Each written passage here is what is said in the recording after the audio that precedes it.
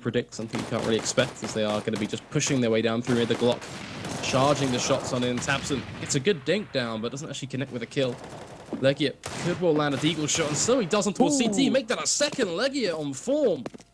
But no matter how much of a McCree he wants to be, two quick shots aren't going to save him today. Needs a little bit more. Does pick up the AWP, of course. That could allow him to zone off shorts. And so he does, flying the pick on towards Karrigan. That's three kills. Then they oh Negan give him the fourth. He's going for the ace. LEGIJA up against Olofmeister Kiev. Getting the bomb plant down should be fairly easily. Just with 20 seconds to spare, it's with good timing. Now things are going to play out nice and slow. Nice, let's peek for hmm. LEGIJA peaks out with the AWP.